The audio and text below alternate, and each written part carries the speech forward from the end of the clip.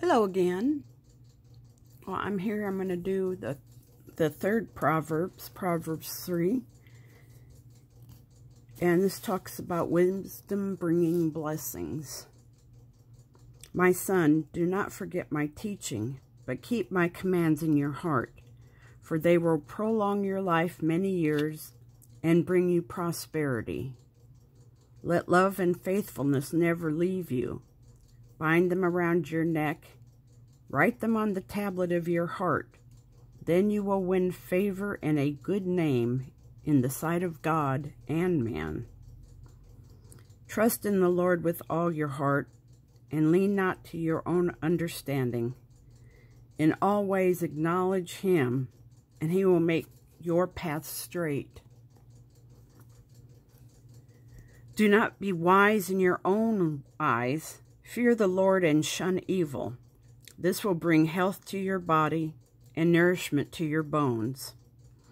Honor the Lord with your wealth and the first fruits of your crops. When your barns, uh, then your barns will be filled to overflowing, and your vats will brim over with new wine.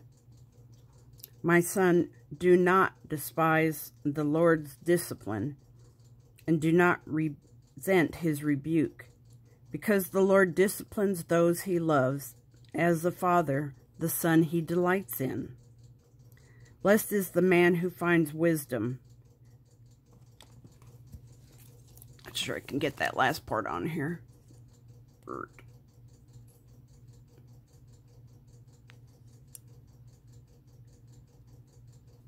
Okay. Um, blessed is the man who finds wisdom, the man who gains understanding for she is more profitable than silver and yields better returns than gold. She is more precious than rubies. Nothing you desire can compare with her.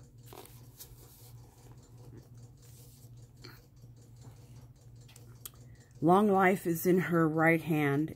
In her left are riches and honor. Her ways are pleasant ways, and all her paths are peace. She is a tree of life to those who embrace her. Those who lay hold of her will be blessed. By wisdom the Lord laid the earth's foundations. By understanding he set the heavens in place. By his knowledge the deep were divided, and the clouds let the drop the dew. The clouds let drop the dew.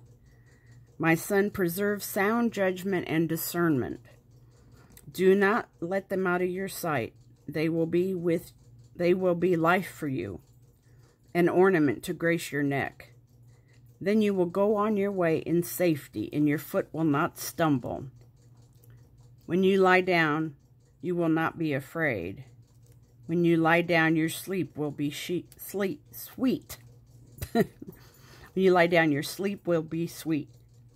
Have no fear of sudden disaster or of the ruin that overtakes the wicked.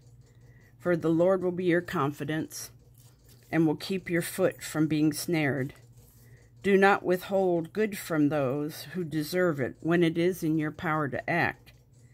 Do not say to your neighbor, Come back later, I'll give it to you tomorrow, when you have it now. Do not plot harm against your neighbor uh, who lives trustfully near you. Do not accuse a man for no reason when he has done you no harm.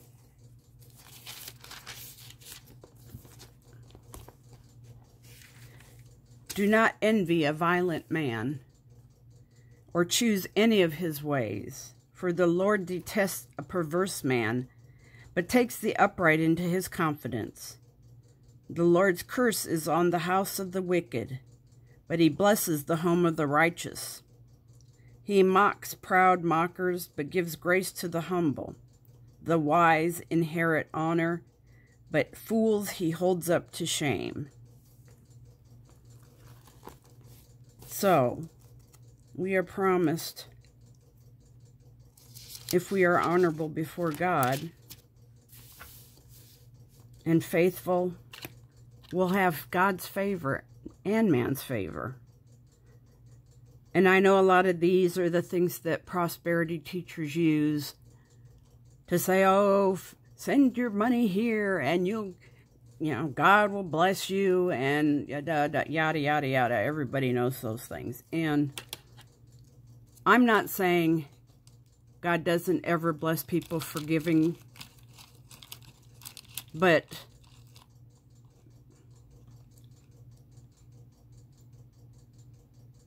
God, He wants us to give out of our heart. If you see something, if you see somebody hungry and you and you you feel like you should buy them a you know a Big Mac or a drink or you know, He honors that. Giving some money to some pastor or business or whatever that thinks that makes you think that, oh, I gave to him now. I should get, you know, a hundredfold back. I should. That's not the kind of giving God loves. And I'm sure if you talk to people who have donated to these prosperity pe people over the over their lives, you'll find out that they may be blessed in other ways But I'm pretty sure you'll find out that they are still in need. They are still sick. They are still wanting.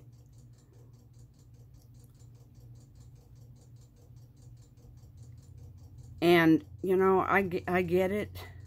I don't have all the answers. The answers here are the ones that I try to abide by.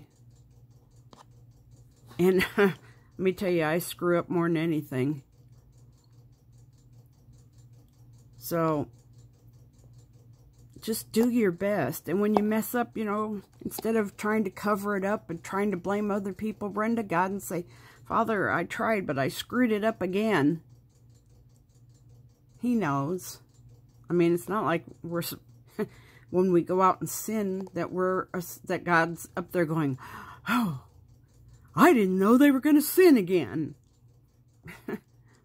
There's not much we can do to surprise God or hide it from him. So